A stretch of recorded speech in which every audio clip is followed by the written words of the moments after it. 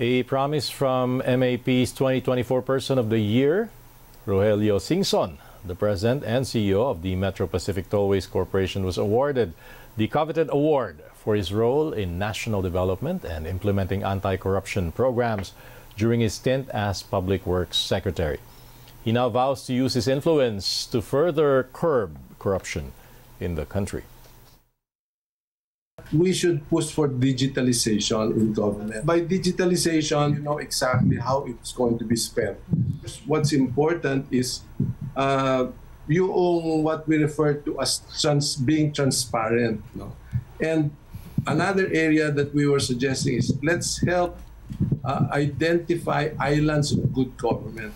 And let's recognize, especially at the LGU level, so that they can be islands of good government where we tell the business groups this is where you are going to be assured of good investments and because the LGU is doing its best. If we want a better future, everybody's uh, agreement is the number one cause of poverty and inequality.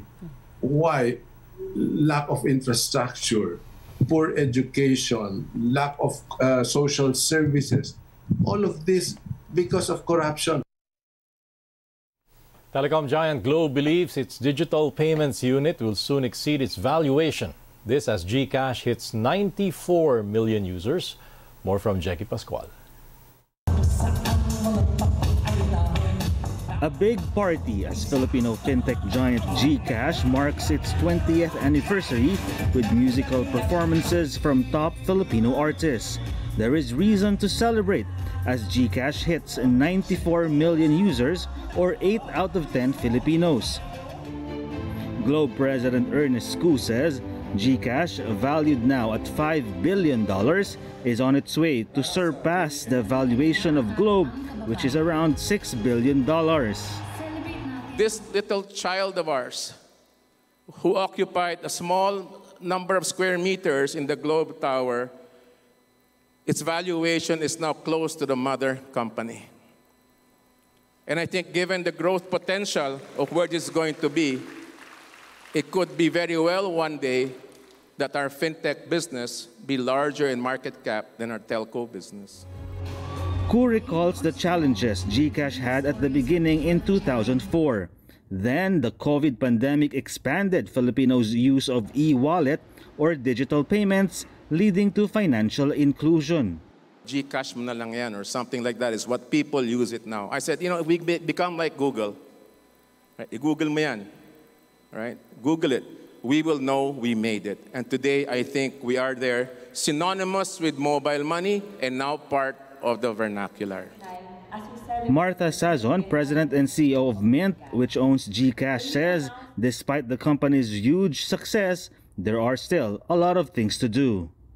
Having more Filipinos use GCash, especially yung mga nasa rural areas, nasa probinsya, so that we can empower them more and we can uh, help them with their finances, educate them, uh, get them to di using digital services. She, however, adds despite the $5 billion valuation, an initial public offering or IPO is still not on the table just yet.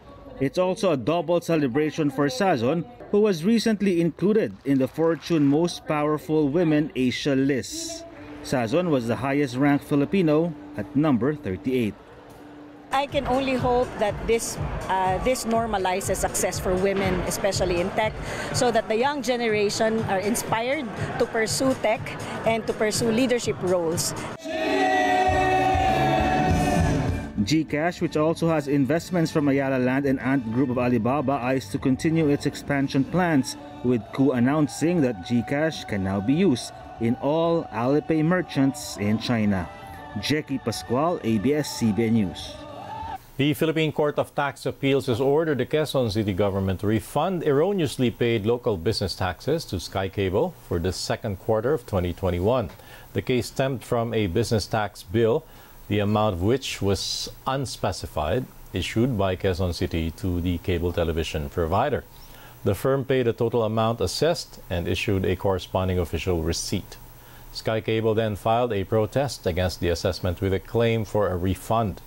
The RTC decided in favor of Sky Cable, prompting the local government to file instant petition for review with the CTA on 2023.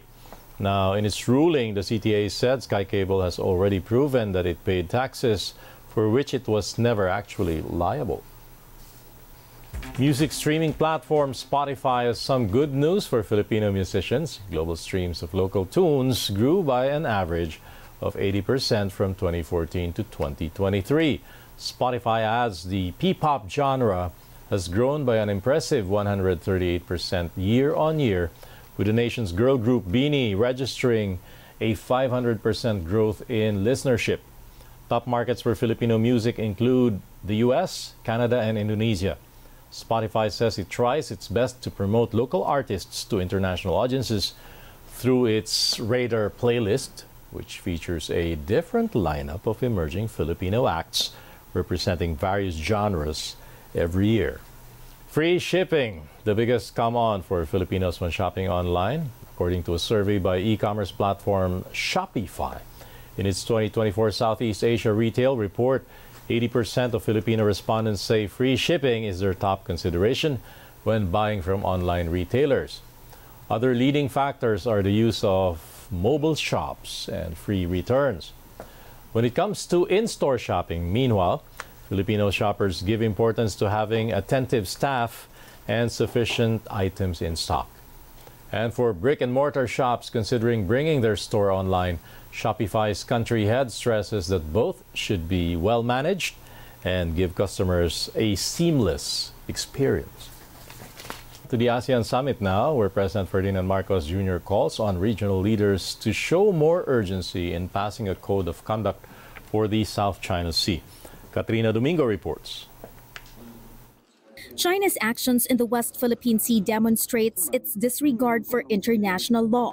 This is what President Ferdinand Marcos Jr. told ASEAN and Chinese leaders in a meeting held on the second day of this year's ASEAN summit. The Filipino leader says it is regrettable that the overall situation in the South China Sea remains tense and unchanged as Filipinos continue to be subjected to harassment and intimidation, noting that Beijing has been firing water cannons against civilians and ramming Philippine vessels sailing within the Philippines' 200 nautical mile exclusive economic zone. That's despite ASEAN's and China's commitment to peacefully resolve disputes in the region. Under the Declaration on the Conduct of Parties in the South China Sea, which ASEAN and China inked in 2002, the parties agreed not to use violence when settling disputes in the strategic waterway where trillions worth of seaborne goods pass through annually. Because of this, Marcos Jr. urged Southeast Asian and Chinese leaders to have more urgency in finalizing the Code of Conduct, which is expected to outline how countries should resolve sea disputes.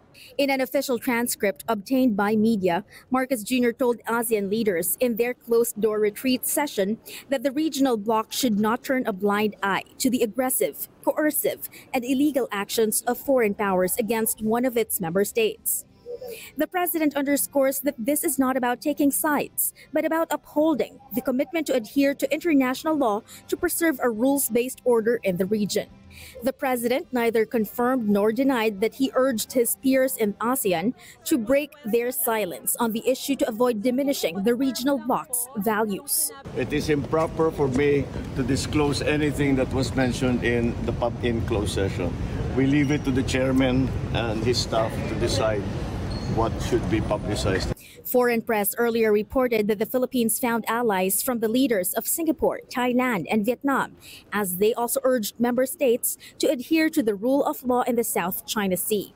Agence France Presse reports that Singaporean Prime Minister Lawrence Wong noted that the South China Sea is a live and immediate issue as accidents in the area may spiral into a regional conflict. Other Asian news agencies have reported that the prime ministers of Thailand and Vietnam have also urged ASEAN leaders to abide by the United Nations Convention on the Law of the Sea, or UNCLOS, when dealing with the South China Sea issue. Meanwhile, President Marcos Jr. met with Canadian Prime Minister Justin Trudeau in a bilateral meeting on the sidelines of the summit, where the Filipino leader thanked his Canadian counterpart for helping with the Philippines' capacity building, especially in the West Philippine Sea. Canada is among the countries that participated in joint air and naval exercises in the West Philippine Sea. The Defense Department earlier said that Manila and Ottawa are also drafting an agreement to allow their troops to train and operate on each other's territories and territorial waters. Katrina Domingo, ABS-CBN News, Vientiane, Lao. President Marcos Jr. urging his regional peers to boost staple food reserves in preparation for crises that threaten food security. This as Mr. Marcos cited the 2024 World Risk Index, which showed that the Philippines is among the countries with the highest risk of experiencing the adverse impacts of climate change. Marcos renewed his support for the ASEAN Plus 3 Emergency Rice Reserve Agreement and lauded its extension for another three years. This, he says, would help ensure food security in the Philippines and enhance Filipinos' resilience to potential adverse situations or calamities. The arrest of the alleged big boss of offshore gaming operations in the whole country. Presidential Anti-Organized Crime Commission Chief Gilbert Cruz told ABS-CBN News alleged Pogo godfather Liu Ong or Liu Dong was nabbed last night at a residential subdivision in Biñan, Laguna. Ten other Chinese Pogo bosses and their seven Filipino bodyguards were also apprehended. Authorities say Liu Dong, who uses several aliases, came from Hunan, China. He is allegedly behind the scam farms in the country, including the raided Lucky South 99 in Pampanga. Ah, yung pag-arestong ginawa natin, ah, ito ay sa bisa ng isang mission order na inisyu ng Bureau of Immigration. Kasi kasama natin dito sa trabahong to yung Bureau of Immigration, yung ah, um, AFP at yung Philippine National Police. And ah, yung mission order na yon ang pinaka-target natin si ah, Liu Dong. 2015 nandito na siya. At nagsimula na siyang magtayo ng mga ah, pogo doon sa mga golf courses. Diyan nagsimula eh. And then ah, nag, nakapagtayo siya ng ah, mga pogo ah, sites sa Region 7, particularly yung area ng Cebu. Ah, nakapagtayo siya sa Region 3. Ah, involved siya doon sa ah, Porac Pogo Hub, tsaka yung sa Banban Pogo Hub, ano? Still on Pogos, the Senate will conduct its last hearing into the illegal offshore operations with the Philippine police to be put in the hot seat for allowing alleged textbook scammer Mary Ann Maslog to mediate the surrender of detained Bamban Mayor Alice Go. common sense mula sa isang mamamayan, ah, hindi po acceptable ah, yung ganon. Kasi ah, kaduda-duda um, yung, yung taong yon. Mas dapat patawag siguro yung IG, yung mga intelligence officers natin na bakit pa siya pinaniniwalaan, bakit pa siya ginagamit.